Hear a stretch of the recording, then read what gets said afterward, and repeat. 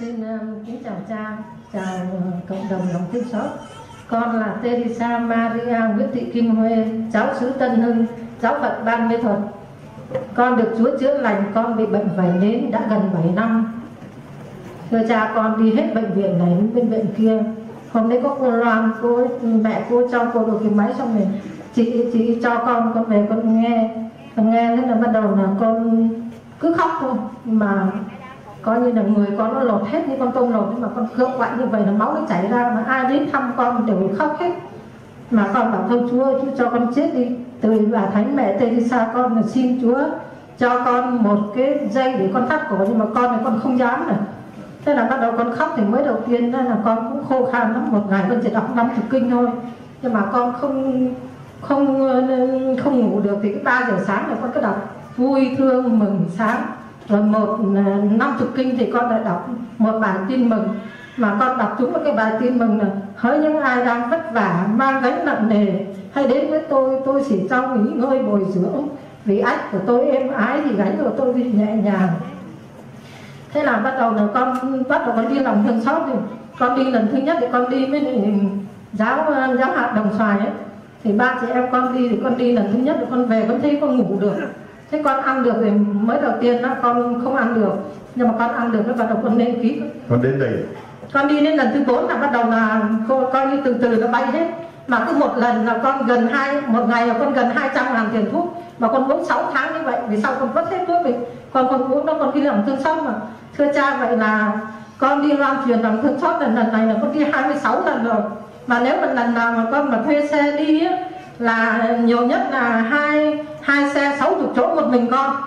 Hai xe 60 rồi ờ, cái căn bệnh đó từ từ nó biến như thế nào? Chia sẻ tiếp cho mọi người. Dạ thưa cha vậy là coi như là đến tuần thứ bốn con đi lần thứ bốn là tự nhiên nó bay hết xong rồi họ thích đúng đến hỏi con là hỏi con là vậy thì bà làm sao mà bà lại khỏi?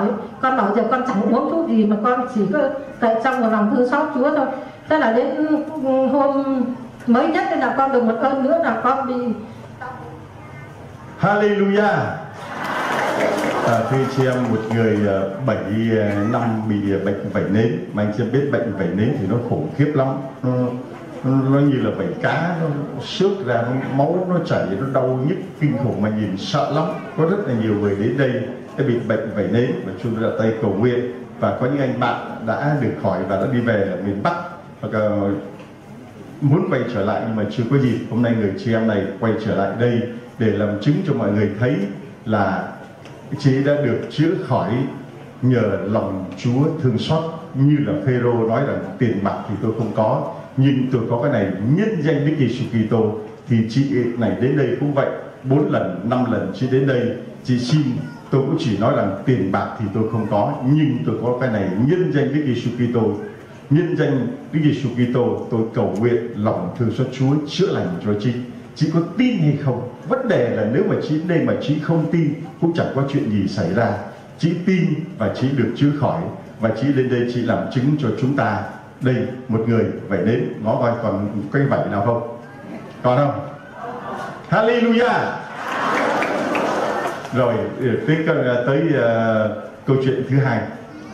Thưa cha cách đây hai năm con ờ, bị đau một, ờ, một đau bụng xong bắt đầu con lên bệnh viện chợ rẫy là nó em lai xong bắt đầu nó cho con mổ mà. Coi như cái cục sạn vật của con nó bằng vậy mà nó căng hết ra rồi coi như là không không không lấy ra được nữa mà phải cắt đi. Và đến lúc con về uh, lúc mà con lên bàn mổ là lúc 9 giờ. Mà đến 11 giờ là hết áp của con nó tụt rồi tim mạch cũng không mổ được. Cái con nhắn tin cho cha con nói con cháu nội của con là à, và con nhắn tin cho bà nội với. Là, là nhắn tin cho cha với ông anh của con đang làm ờ, linh mục ở uh, nhà thờ Minh Rồng là cha Hà Diên Tố đấy. Cầu nguyện cho con với ừ, điện thoại. Con nhắn tin cho cha hậu nữa với cha đại nhà con. Và rồi là coi như là con về con không ăn được còn một ngày con chỉ ăn có hai thìa sáng một thìa tối một thìa. Mà cái xác con như xác ve con không đi được. Nhưng mà con đi lòng thương xót chúa được bốn lần con chỉ cầu xin chúa ban cho con hết bệnh vẩy nến và con tin tưởng con phó thác vào Chúa. Vậy mà Chúa cho con ăn bây giờ một ngày là con ăn bốn tô như thế này. Mà hôm nay hôm nay con ngủ thì con ngủ quá trời luôn nhưng mà coi như là con lên được 12 kg rồi.